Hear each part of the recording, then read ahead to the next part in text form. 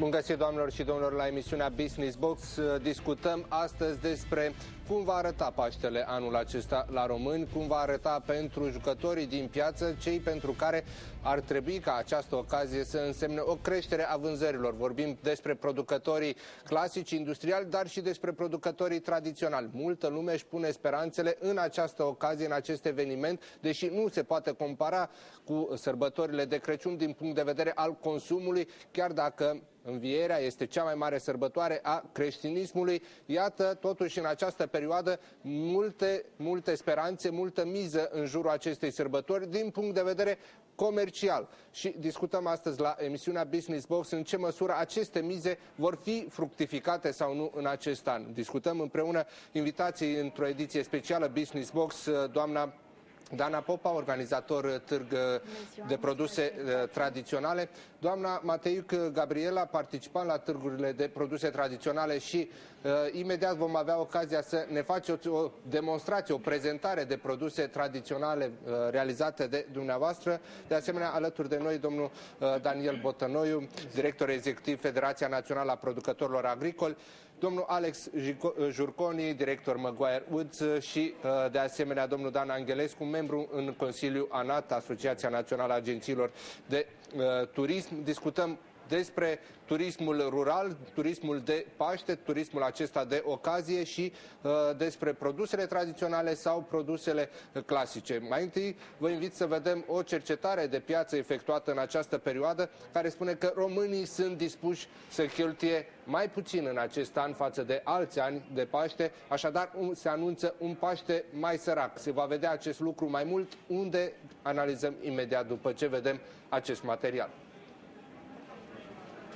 De sărbătorile de Paște, 44% dintre românii participanți la studiul IRES spun că vor cumpăra carne de miel, iar 14% nu au nevoie să cumpere deoarece au miei în propria gospodărie. De cei care vor cumpăra miel de Paște, 27% sunt dispuși să cheltuiască pentru acesta între 50 și 100 de lei. Mihai Vișan, director executiv al Asociației Române a Cărnii, spune că consumul crește spectaculos în unele categorii alimentare cu 30-40%, dacă ne referim în primul rând la carne, mezeluri, față de lunile anterioare, care sunt foarte slabe. Au fost foarte Ele vin după Crăciun, după epuizarea rezervelor bănești, ianuarie, februarie sunt luni foarte slabe, martie începe uh, postul de obicei, uh, deci ne raportăm și la o perioadă de vânzări mai reduse, dar față de ele Uh, consumul crește.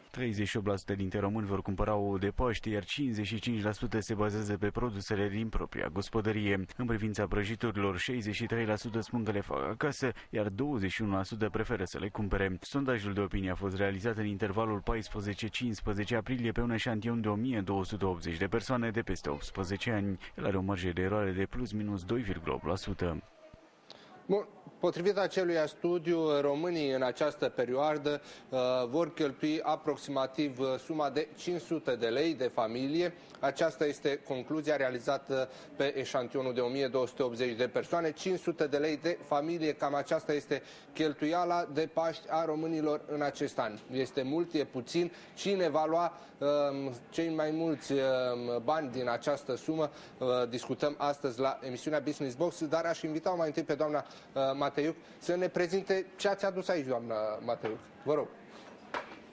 Vă rog, vă rog.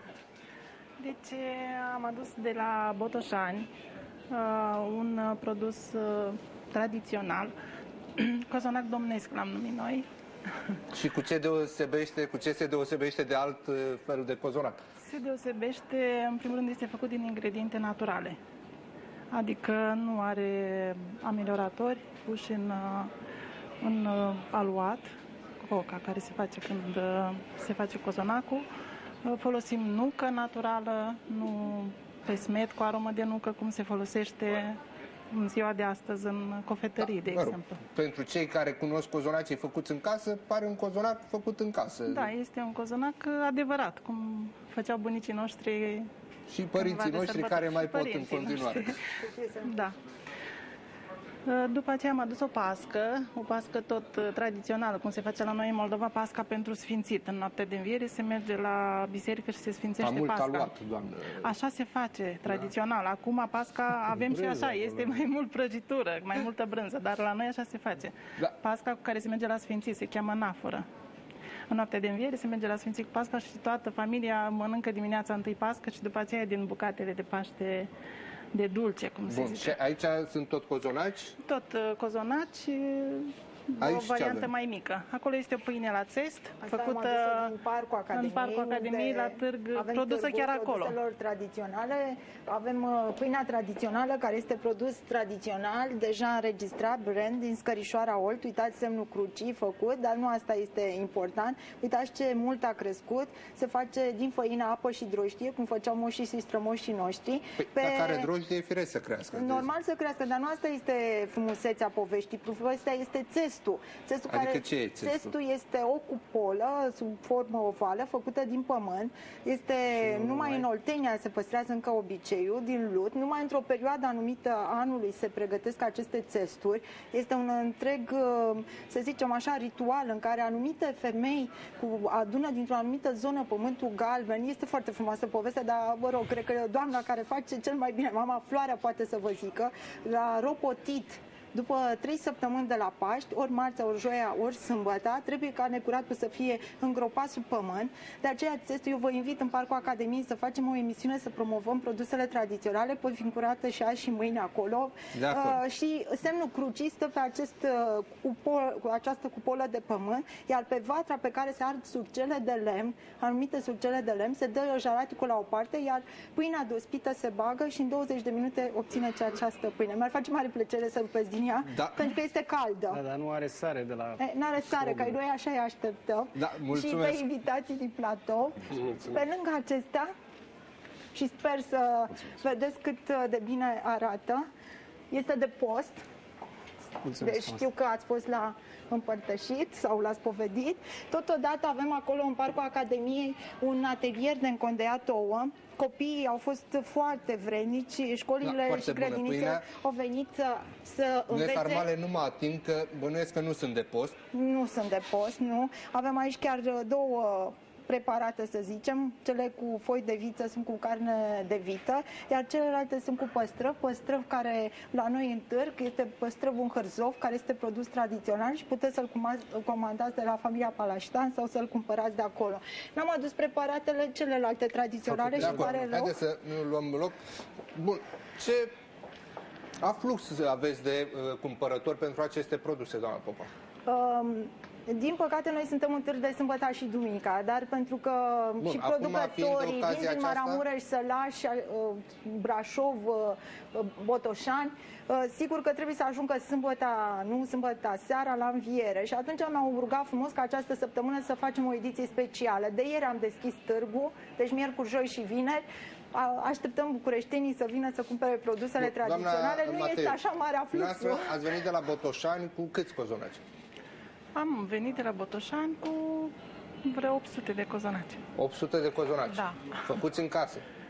Poftim? Făcuți în casă 800 de cozonaci? Nu, În nu-i 10 facem, case. nu, nu-i facem în casă. Noi avem uh, o afacere și avem uh, cinci oameni care lucrează la Și cozonaci. diferă față de uh, afacerea uh, de cozonaci în, uh, Industrial. să spunem, industrial? Diferă de Normal că afacere, diferă. diferă. De la modul făină, de însăși de la producere, făină, calitatea celălalt este materiilor de prime moară, folosite. Din grâu, uh, de calitate, modul cum care se respectă. lucrează cozonacul, Și, diferă. bun, Rețeta. afacerea aceasta, 800 de cozonaci, îi vindeți acum de Paște aici Sperăm în să-i vindem. București, se spune mare parte din ei. Sperăm, da. Uh, Ieșiți pe profit? Câți oameni lucrează? Cum, cum se desfășoară această afacere? Păi noi vindem și la Botoșan cozonaci, nu numai la București.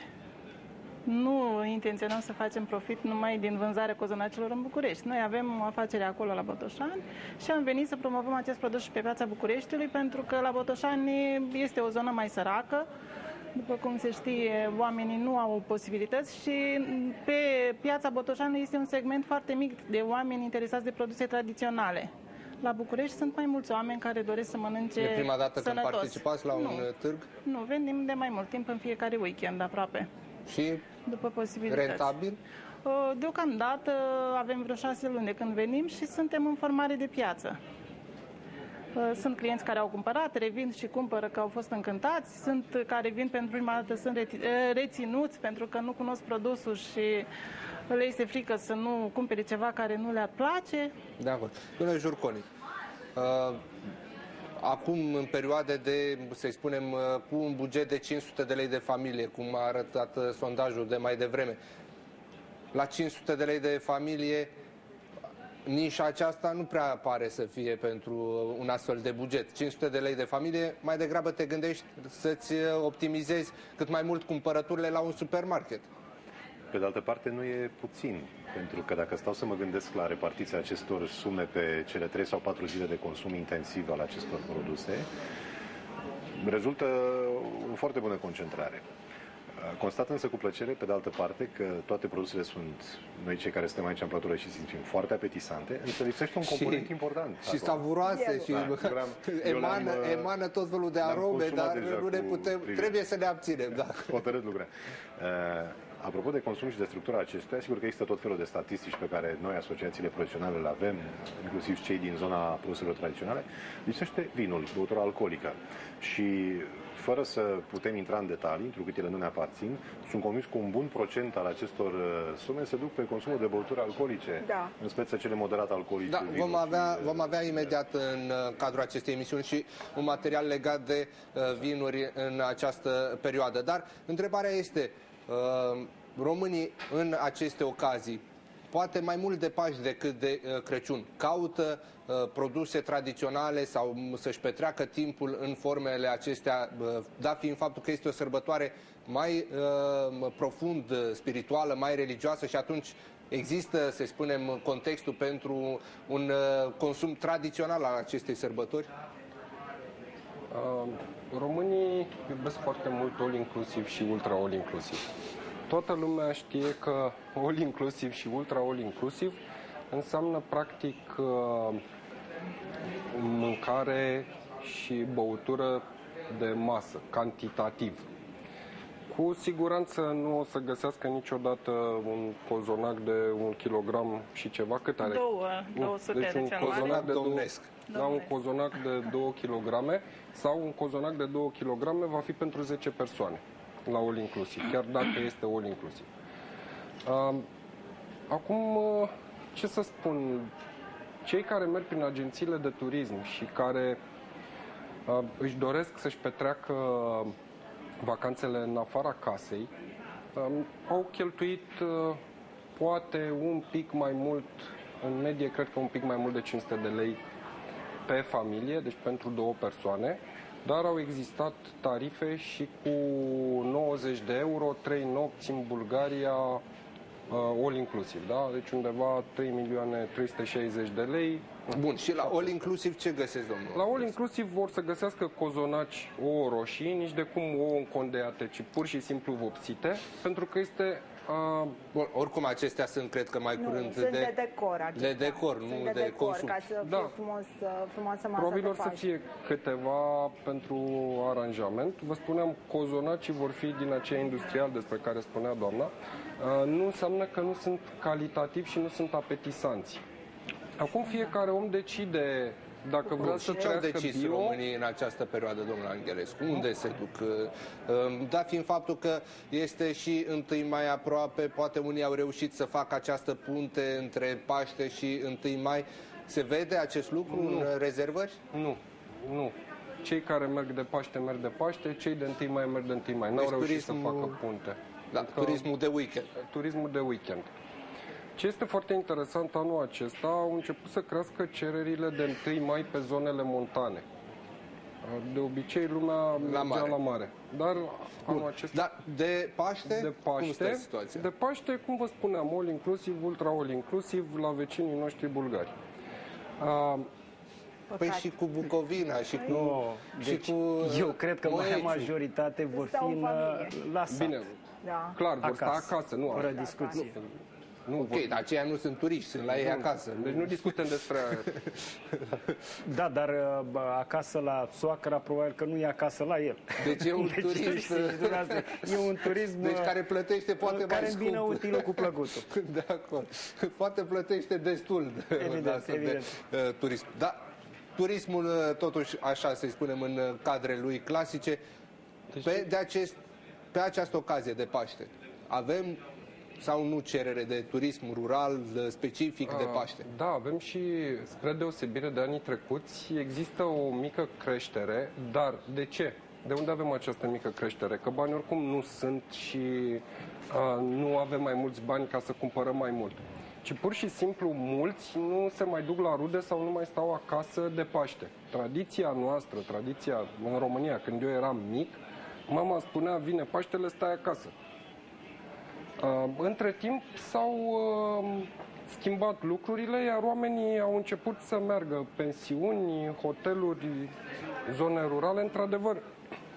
Și din punctul meu de vedere prefer să merg într-o zonă neatinsă de aglomerația asta urbană. Din păcate sau din fericire, depinde cum o iei, trăiesc în București 350 de zile pe an și aș fi fericit să pot să ies din De acord. Bun. centrul orașului. Întorcându-ne la masa uh, de Paști și ce punem pe ea și de unde uh, luăm uh, ceea ce uh, punem pe masă, un uh, kilogram de miel de Paște costă 20 de lei dacă este luat din piața Apărătorii Patriei sau din piața Obor sau cu 28 de lei pe kilogram din supermarketuri. Care sunt diferențele?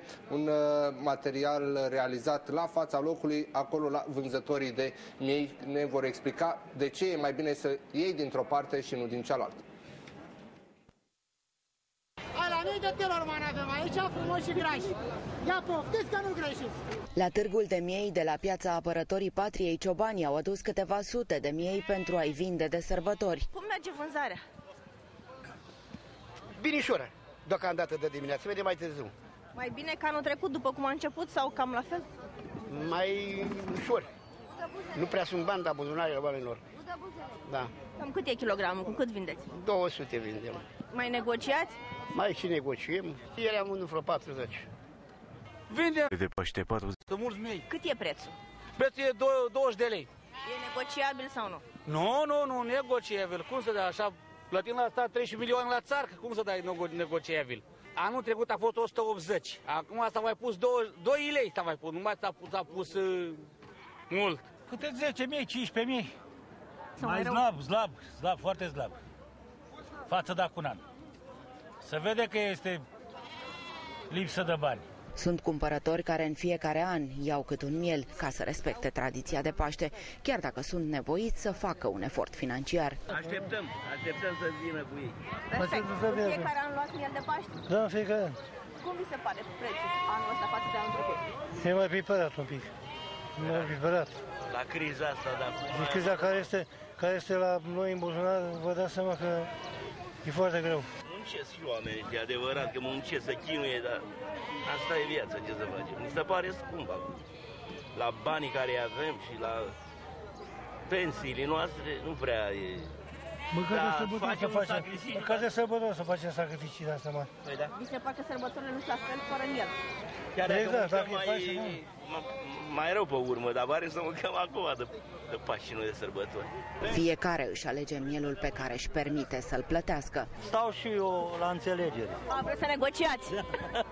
și vă lasă din preț? Pe... Nu, nu, nu, prețul e preț. E, Dacă are 12 kg, 2 milioane 200. Nu e prețul ăsta? Da. Păi atunci și mai. 2 ce să milioane fac? 400. Prețul de 20 de lei pe kilogram nu-i mulțumește pe ciobani. Și și e cam ieftin. Față de anul trecut, doar 2 lei în plus acum. Păi 2 lei a fost și anul trecut 2 lei și acum. Înțelegeți dumneavoastră? Da. Și cam cât vindeți în fiecare zi? Slăbuț. Slăbuț. Până acum am vândut... Până acum am vândut 8 mei. 10. Azi sau și Azi. Nu, ieri am vândut 13. Nu prea au lumea bani. Prea are lumea în bani. Dacă mergem în ritmul ăla, s-ar putea să rămânem cu ei. Diferența de preț dintre mielul din piață și cel de la supermarket are explicații. În primul rând, uh, luați în ecuație TVA-ul, 24%. care la producător nu există, dar la lanțurile de magazine, da. În al doilea rând, la cheltuielile de abatorizare, de transport, de difuzare și de inspecție sanitar-veterinară. După aceea mai luați în calcul că prețurile pe care le au magazinele sunt rezultatul negocierilor în timp ce producătorii țineau uh, prețul foarte sus în viu. Dacă producătorii au văzut că cu prețul acela mm, nerealist nu se poate, au mai scăzut. Ei, marile magazine nu poate să facă chestiunea asta pentru că au făcut contracte. Iar achizițiile au fost făcute pentru marile magazine în viu, în timp când era prețul foarte ridicat. Ciobanii își duc miei nevânduți acasă, dar magazinele care nu reușesc să vândă carnea din galantare o trec la pierderi. Este un dezavantaj în privința asta al marilor magazine vis-a-vis -vis de producători, pentru că producătorii țin marfa în viu. Uh-huh. Dacă nu se vinde, uite, îi rămâne marfa, dar în viu. Dacă nu se vinde carnea, se, se deteriorează. Dacă se deteriorează, se distruge. Cel mai mic preț de pe piața bucureșteană, 18 lei pe kilogram, egal cu cel de anul trecut, se practică în hala Obor, dar marfa nu are factură. Bun, domnule Botănoi, ați văzut un uh, reportaj realizat de colegii mei în piața de miei de la apărătorii patriei. Nu sunt bani, vânzări slabe, prețul plus minus este cam la același nivel cu anul trecut, diferențe mari față de supermarketuri la nivel de preț. Da, aveți dreptate. Când mă gândiți la bani, vă uitați la mine. Deci e, uh, e, nu, e încurajator. La ca producător agricol, Nu, e încurajator să știți, pentru că eu, eu îi consider curajoși, pentru că dau cu 2 lei la fel ca și anul trecut, 20 de lei ca și anul trecut. Și știți de ce? Uitați-vă la cereale, cât au crescut de anul trecut până acum, până la duce el în faza de a-l vinde la 10-12 kg. Deci ei deja bă, au, uh, fac acea protecție de care discutam noi, pentru că în momentul în care tai din uh, pensii, tai din salarii, automat că îți va scădea cantitatea care o cumpere, automat că Bun, da, vom discuta de unde ați cumpărat, din piață sau de la supermarket? Păi, uh, fără discuție, eu din piață, fără discuție să văd. Am văzut animalul, l-a tăiat, știu ce am luat, am plecat acasă liniștit. Ăla nu știu dacă e congelat, recongelat, reîncălzit, re, înghețat, nu știu care e povestea cu el. Din motivul ăsta vă spun clar. Cu toate că există un control mult mai mare acolo, în, în, în hipermarketuri, să le spunem noi, pentru că știți foarte bine, ei controlează de 3-4 ori până ajung acolo. Dacă domnule Jurconi, în hipermarketuri, fiind volume mari, să fie mai mic prețul? Cred că cel care a vorbit înainte și pot identifica persoana, o cunosc, este unul dintre Da, era președintele Asociației Crescătorilor de Ovine. Ionescu mi se da. pare că era. Da? Da. Uh, cred că aici avea dreptate. I-au bătut în cuie prețul astea acum ceva vreme când prețul era încă sus. Ce interesant este însă că între toate categoriile de producători agricoli, oierii cred că au fost cei mai norocoși în ultimii ani. Din cel puțin trei motive. România a avut tot timpul o cerere mai mare decât putea să ofere, decât oferta pe carne de miel și pe wine în general, pe viu, pe tăiat, pe orice formă. La export. La export. Da. La export. Îmi cer scuze, um, președintele Asociației Crescătorilor de, și Exportatorilor de Ovine, domnul Mihai Dumitru, a fost cel prin telefon. Ah, domnul Dumitru. Uh, domnul Dumitru da, da. Cu scuze Sigur. pentru colegii mei care nu au uh, afișat în uh, timp da. Uh, această... A, apoi funcție. oamenii respectiv crescătorii, au o plată pe cap de animal care nu este neglijabilă prin proporție, să zic așa, de masă cu alte specii. Și trei, în cazul lor, creșterea prețului la cereale cred că a avut cea mai mică influență pentru că, în fapt, culturile lor de bază pentru furajare sunt culturile de pășune. Nu, da, stați, discutăm de miel, deci nu discutăm de oaie, nu discutăm de, de, miel de miel pentru că de strict despre da. el. Ori dacă amintiți de plăți, eu vă reamintesc că ei, ei sunt deja sub uh, ceea ce era discutat. Deci la 5 uh, euro, vă dați seama, 7 euro cât uh, le-au dat în final, este mai puțin decât ceea ce au avut. Uh, Fără îndoială, și Dar bine că e așa. Eu, eu cred, așa, mă întorc la ce spuneați dumneavoastră, eu cred că acest volum foarte mare este o tendință mondială specială pentru că știți foarte bine că să, consumul se reorientează către alte tipuri de cărnuri. De se apropie de cărnurile da, avem, deja avem roșii. o schimbare de consum la români în ceea ce privește mielul, porc, vita. Um... N-aș putea spune asta. Sigur că tot scenariul mesei de Paște se desfășoară în jurul Da. cărnii de miel și probabil că Dar absorția este, maximă a celor dar este 5 milioane consumat de cel lei. mai puțin, probabil. Cred că fiecare are ceva Nu, miel nu, pe Eu masă. sunt convinsă Da. că fiecare român nu nu cred că va lipsi Da. ceva, o fripturică din carne de miel. Este imposibil. Așa am văzut și materialele dumneavoastră. Cred și că i-ați ce se văzut pe întâmplă. toți, totuși. Nu pe Domnule, toți, dar deci, sunt sigură da, că care- un eu fel sau altul recunosc, suntem eu într-o admit că, eu săptămână admit în că care sunt se fac consumator de lucruri carne bune. de miel de foarte puțin timp. Deci eu sunt în Și nu categoria greșiți. Noilor veniți în această piață. Nu greșiți deloc. Pe de altă parte, mă întorc la ce spunea dumnealui, da, este acel obicei stat acasă, dar fiind criză, pleci la vecini și la Da, vecini trebuie deci să găsești sau la rude ceva ca să Este consumi în momentul în care perioada trebuie să fim dalnici, buni, deschiși. Deci Da. uh, sunt sigură că orice... Doamna toată Matei, lumea se va- va găsi ceva Dumneavoastră pe de unde masă. luați mielul? De la Botoșani, de la... Să Din vă- piață, din Nu. Supermarket? Să vă spun sincer, le iau de la o mănăstire de la Botoșani. Este, Este o relație veche, să da, înțeleg. este o relație veche cu preotul de acolo și el tot timpul de Paște... Da, Este un cunoscuții, miel prietenii ecologic. dumneavoastră, de unde își fac cumpărăturile de Paște? Deci, prietenii mei, uh, la noi în Moldova, cei mai mulți se duc la părinți. Pentru că este un oraș mic și știți cum locuiesc în oraș, dau pe cineva la țară. și atunci își iau de la părinți. Probabil ceilalți din supermarket, nu știu. Da, exceptând zonele Exact. mari, zonele urbane, de ce? Clar, pentru că fiecare are tendința asta și mai ales zonele sărace, unde uh, știți foarte bine că credința este, este mult mai dezvoltată și mult mai apropiată de sufletul lor, deși au acele precepte pe care nu le încalcă feritai. Da. Deci, Mă fără rog, n-aș discuție. face chiar așa de strict asocierea săraci, uh, Nu, dar să cre- știți că așa uh, se zona întâmplă. de uh, credință sau puterea de credință. Așa se întâmplă.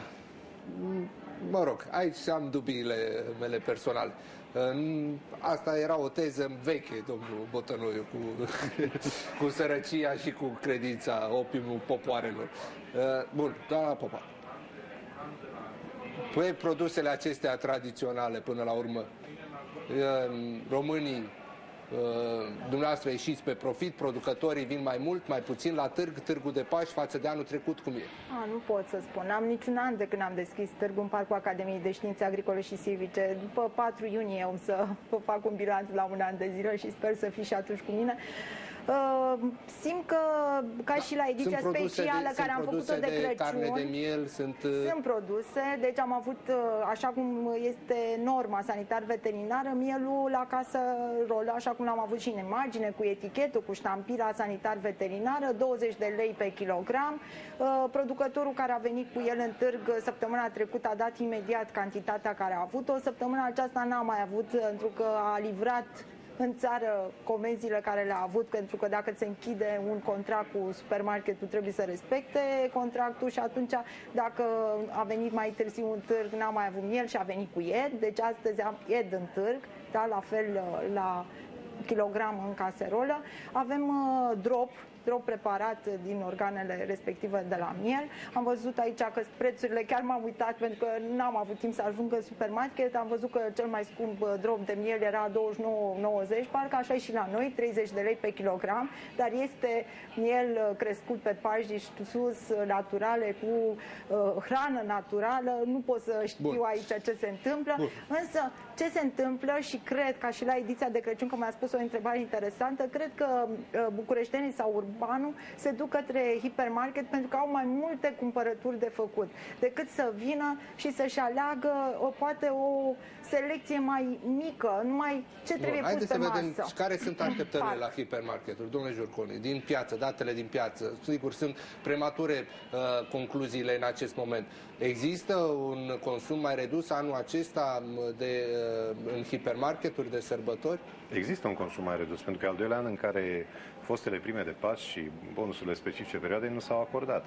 Dar m-aș întoarce, n-am cum să îmi refuz această plăcere de a face o acoladă la uh, prezentarea colegei și prietenei mele uh, de mai devreme, însă părerea mea personală și sigur că eu reprezint asociații puternice de producători uh, și procesatori industriali, este că ceea ce se întâmplă acum în apărătorul patrie este un regres, în principiu. Eu n-am nimic împotriva ideii ca oamenii să-și taie mei în curte, dar mi se pare un profund regres și aici trebuie responsabilizate autoritățile statului în materie să creezi zone de sacrificare în centrul Bucureștiului, pentru că dincolo de blănițele alea simpatice care erau acolo între garduri, se ascundea un perete verde din care intrau și ieșeau oameni îmbrăcați în halat alb, unde se produceau sacrificări fără niciun respect față de bunăstarea animală, fără niciun respect față de ordinea uh, unității uh, Uniunii da, Europene. Cred că aveau totuși avizele de funcționare. Le aveau, pentru că sunt puncte de tăiere special temporare, amenajate. special amenajate, cu care noi, industria, nu suntem de acord în principiu. Pentru că de aici Firesc până la porc acord, și vită cu picioarele în sus pe cracă, mai e doar un pas. Și din păcate am sentimentul că aceste lucruri se întâmplă. A nu se confunda consumul tradițional cu respectul față de siguranța uh, alimentului uh, respectiv. Pentru că față de, uitați aici, consum tradițional și produse tradiționale Dar ireproșabile. toate sunt avizate sanitar, veterinar, da. au la uh, buletine de analiză, da. altfel nu ar putea fi Ele vin din zonele consum. de producție specifice și acolo da. trebuie ca asta să se întâmple. În schimb, cu ce se întâmplă în uh, apărătorii patriei, dați nevoie să avem rețineri majore da. ca industrie. Nu e, nu e interzisă manifestarea. Evident, adică evident eu, că nu. ca și un uh, consumator de bună credință, îmi imaginez că acolo este s-au obținut toate avizele și că toată manifestarea este în regulă. Este mod real, este legală, nimeni nu spune că nu este. E vorba de concept și de filozofie. Cât timp tradiționalul devine el însuși un element de consum cu tente industrială, ceea ce a zis acolo nu mai e tradițional. Asta e problema. Și ne face nouă industrie concurență, o considerăm neloială, prin prisma faptului că, iată, diferență de preț de la 20 la 28 de lei, din motivele exprimate de președintele Asociației Crescătorilor și Exportatorilor, pe care noi o simțim în volume. O simțim, o simt și supermarketurile în rapturi. Și avem, aveți acum, asta vă întrebam de fapt, în hipermarketuri um, un declin de consum tocmai pentru că oamenii se reorientează pe zona tradițională, la părinți, la cunoscuți, în piețe de acest gen? Uh, pot să vă spun că în general consumul e mai scăzut decât în alți ani și asta, asta o putem spune toți operatorii din piață. Aș putea adăuga... Da, avem doar o problemă de, de putere financiară sau și de și... modificarea obiceiului de pe, consum? Uh, nu, cred că e vorba încă de modificarea obiceiului de consum. E un consum ocazional, tradițional, stop. Deci nu cred că merge mai departe. Ideea însă, ce vă pot spune este că, în principiu, pe măsură ce piețele tradiționale nespecifice, cum este cea de acolo, cea de la SAS, tot respectul este chiar un proiect foarte bun și îl salut, salut pe cei care îl susțin. Uh, e, asta creează probleme. Creează probleme celor care vând din raft în caserolă cu toate marjele respective, dar și cu toate condițiile respective. Bun, haideți să vedem, pentru că pomeneați mai devreme și de ceea ce lipsește la această masă, vinul, care sunt așteptările de uh, Paște în ceea ce privește vinul. Uh, un, uh, să spunem, în această privință sunt mai multe uh, opinii care uh, merg de la, um, uh, sigur, posibilitățile legate de un consum mai de uh, bun, mai de calitate, deși în mare parte românii și aici, uh, mai ales poate la vin, uh, de obicei consumă vinul de casă sau îl preferă pe acela de casă. De Paște, românii vor să aibă masa plină și paharele la fel. Alături de ouă, miel sau cozonac, vinul roșu este un produs tradițional pentru această ocazie. Un studiu realizat de Institutul Român pentru Evaluare și Strategie arată că băutura alcoolică cea mai consumată de Paște este pentru 49% dintre oameni vinul de casă. Alte 9% au ales vinul din comerț, în timp ce 14% au optat pentru bere. Atât ca valoare cât și ca volum, vânzările în perioada Paștelui cresc în mod normal cu 30-40%, dar sunt zile sau perioadele chiar dinaintea, dinaintea sărbătorii în care vânzările se și dublează sau poate chiar mai mult. În general, de sărbători, oamenii aleg uh, ceva care nu-l cumpără în mod normal, se duc cu o treaptă de calitate mai sus în general și cumpără și, și mai mult. Potrivit studiului IRES, 44% dintre români au alocat pentru sărbătorile de Paște un buget pe familie cuprins între 100 și 500 de lei. 20% cheltuiesc cu această ocazie între 500 și 1000 de lei, iar 18% sub 100 de lei. Comparativ cu 2010, 56% dintre participanții la studiu cred că vor cheltui mai puțin de această dată. Bun, acestea sunt uh, datele publicate de uh, sondajul IRES și realizat uh, în uh, acest interviu realizat la uh, cramele specializate, 49% domnule Botănoiu vin de casă în România. Da, eu, eu îmi doresc să fie vin, să nu fie băutură fermentată liniștit, pastilă, zahăr și apă. Deci asta îmi doresc. Păi, dacă pentru e că, de casă, bănuiesc că știu. Dumnezeule, de casă toate.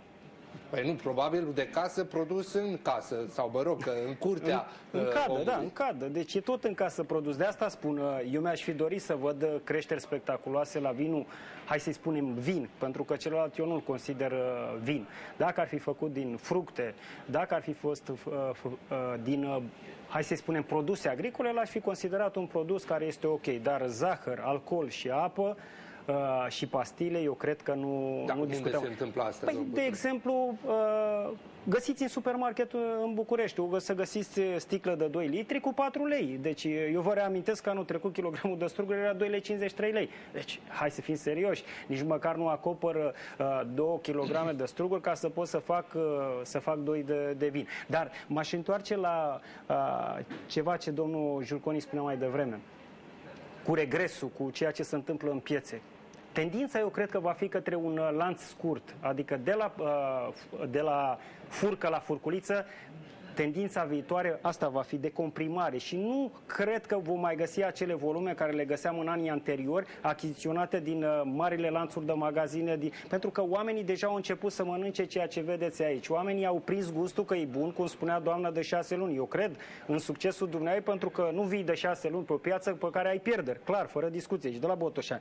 Pe de altă parte, uitați-vă ceea ce furnizăm noi, pentru că eu cred că am crescut și noi în competitivitate. Făina aceea uh, din, uh, din pâinea de țes, făina din cozonac, uh, probabil uh, brânza care se găsește acolo. Deci toate astea înseamnă un lanț scurt, înseamnă un consumator apropiat mai mult de producători și eu iubesc lucrul ăsta. Deci vă spun sincer, pentru că vom consuma mai proaspăt și probabil că vom avea grijă și de buzunarele Nu noastre. mai avem timp. Domnule Angelescu, cât de mult contează în oferta uh, de uh, Paști masa, în, uh, în uh, ofertele de turism și uh, dacă este elementul decisiv până la urmă a- între a alege între Bucovina și uh, Moeciu? Nu, elementul decisiv este tariful. Indiscutabil. Vreau să fac și eu o Indiscutabil. discuție mai, mai spirituală, dar nu. Deci tot uh, despre bani, Da, domnul întrebarea e, Angelescu. a, dacă aici e cel mai ieftin, avem cozonac și ouă roșii, da. A, ok, ne place. Și aici este problema. A, Eu este cumva un conflict, o discuție cumva diferită între ceea ce ne dorim noi acasă, să luăm de la producători, ceea ce ne dorim noi în vacanță, cât ne putem permite să plătim. Uh, Bănuiesc că dacă mergem în târgu cu produse bio, eu vizitez câteva magazine bio din capitală. Uh, Sincer, au niște prețuri bune. Dacă am fi cinci oameni în familie, nu știu dacă ne-ar ajunge salariul să mâncăm numai bio. Așa că rog producătorii să se gândească și la noi consumatorii, adică să facă cozonacul poate mai mic Dumneavoastră rugați, și mai ieftin. nu, ru- dumneavoastră rugați actorii de pe filieră, nu pe producători, de materii prime. Auziți, cozonacul mai mic și mai Cozonacul ieftin. mai mic și mai Se ieftin. poate cumpăra și o jumătate. Bănuiesc că Sunteți Da, asta deci, undeva în jur de de asta 25 și de lei nișă de cozonacul. piață, Da, Grescu, diferența. Păi, Sunt produse diferite. Când- Tradițional, Asta- tradițional, bio, bio. Deci și aici, Când și asta mânca- e... asta e Doamna 40 spus de lei bio kilogramul. tradițional. A, doamna a spus, menționat a într-adevăr că e bio, menționat. corect. Da. Da, Însă sau- bio înseamnă o filieră pe care certificarea de bio se produce. Bio e Tradițional altă. este altă... Așa altă- este. Deci, pe final, pe final pot să vă spun ceva, o, o zicere de, din sat de la mine. Spune așa, domne, când s-au dus undeva, zice, avem țuică, avem vin, avem de toate. Și cu asta am încheiat ceea ce spuneați Păi dumneavoastră n-avem de cu... toate, încă produse tradiționale așteaptă în târgu din Parcul Academiei de Așteaptă Științe cumpărătorii. Agricole și Silvice, măcar să treacă să le deguste. Dacă încă prețul îi se Sigur. pare prea scump, îi așteptăm și azi până se apune soarele, mâine până la ora Un 4 uh, obicei și de sâmbătă, consum duminică. nou, M-ați uh, convins, da, doamnă. înainte de, să punem punct emisiunii, haideți să vedem uh, o, un obicei de consum nou, acela de uh, a ieși până la urmă uh, la masă de Paști la restaurant. Un obicei nou, spuneam, pentru români, pentru că ei preferă cu siguranță masa de Paști în familie acasă, dar sunt restaurante care au început să promoveze și astfel de oferte. Haideți să vedem materialul și revenim pentru concluzii. Sărbătoarea pascală este ocazia perfectă ca întreaga familie să se adune în jurul mesei îmbelșugate și să sărbătorească învierea Domnului. Atâta timp cât ești în compania celor dragi, iar preparatele sunt dintre cele mai alese, mai puțin contează la ce masă ești, acasă sau la restaurant. Ca acasă. Ce faceți acasă, faceți și aici. Nu mai mult decât atât? E socializare, e grup mare? Faceți mai mult decât a faceți economie de timp, uh, uh, aveți posibilitatea să, să aveți calificări, bucate astea gătite calificată, personal calificat. Meniul este preparat după rețete tradiționale, iar restaurantele sunt preocupate să le respecte pentru a atrage cât mai mulți clienți. Avem deja un meniu conceput, care constă în ceea ce aș numi o masă tradițională, coșuri tradiționale cu roșii, drop de miel, trebuia, trebuia nouă proaspătă de oaie cu ceapă nouă verde, ridic, roșii și măsline, urmate de un boș de miel cu ardei iute, uh, pentru că în final să servim o friptură de miel rumenită cu garnitură de spanac și usturoi, ca desert cozonacul tradițional și o pască, evident însuite de o pâine albă și neagră cu semințe, țuica din partea casei, țuică de vălen. Cei mai comozi pot comanda mâncarea tradițională pentru acasă. Oferta restaurantelor este bogată și vă scutește de grija de a arde friptura sau de a greși cozonacul le pregătim tot ceea ce avem și noi pentru, pentru masa de Paște acasă. Hai că facem ouă roșii, le facem micre de știucă, drop de miel, salată de beof, uh, borș de miel, friptură de miel la cuptor, cu o garnitură de spanac sau de cartofi, ă, pască și cozonaci. O cină în oraș în ziua de Paști costă aproximativ 80 de lei, iar pentru acasă câte 200 de grame din fiecare produs tradițional vă duce la 60 de lei de persoană. O astfel de cerere, evident, trebuie onorată. Până la urmă, unde veți face uh, Paștele? La restaurant, cu produse tradiționale, cu produse bio, cu produse um, industriale din uh, supermarketuri, hipermarketuri. Cu toții, probabil, cei mai mulți vom fi la mama acasă și acolo ne vom petrece sărbătorile cu ceea ce se află pe masă. Uh, mulțumesc foarte mult pentru participare invitațiilor. Nu mai avem timp de concluzii decât să spunem Paște fericit pentru cei cu, uh, cu care nu ne mai vedem până atunci. La revedere! Sărbători cu bine! Un nou roșu, un apă neîncepută și un bănuț de argint să ne spălăm pe față înainte de a merge la înviere. Doamne ajută! Doamne ajută!